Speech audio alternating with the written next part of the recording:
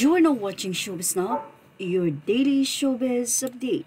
Tila pinupukol nga ng pagsubok ang aktres na si Sunshine Dizon.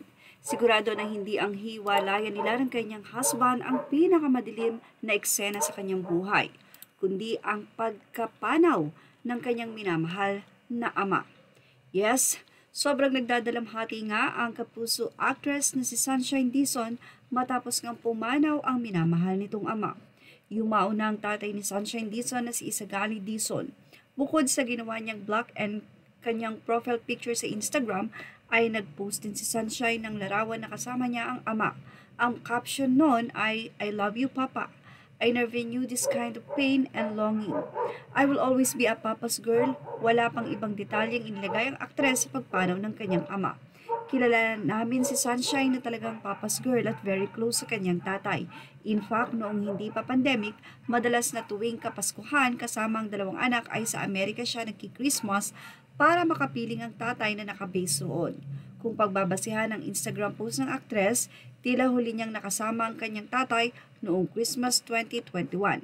Kamakailan lang lamang din ay nag-open itong si Sunshine na dumadaan siya sa emotional issues.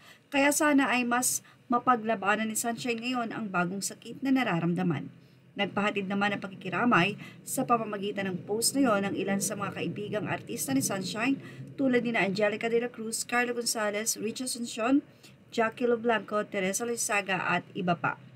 Well, yan ang naging pagpapahayag at artikulo ng Abante. Sabi nga natin, sana nga malampasan ni Sunshine Dizon ang pagsubok na ito na kinakaharap ng kanyang buhay. Lalong-lalo na nga at ang kanyang father ay nasa US at siya naman ay nandito sa Pilipinas. Hindi nga biro ang pinagdaraanan ni Sunshine Cruz lalo na nung mga nakaraang mga taon dahil talaga namang nagpakatatag at napakatibay na ina, aktres, kaibigan at anak ni Sunshine. Kaya naman kahanga-hanga ang mga netizen at mga fans na talagang napagtatagumpayan niya ang lahat ng problema na dumarating sa kanyang buhay. Pero iba nga naman ito dahil ang kanyang pinakamamahal na ama ay pumanaw na.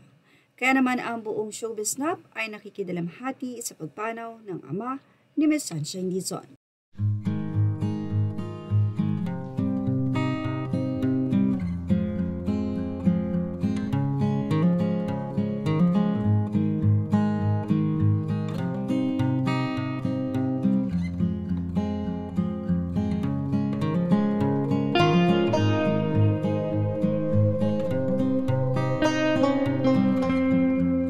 Yan ang ating Showbiz Snap update. Images are all credit to the rightful owners and thank you for watching Showbiz Snap.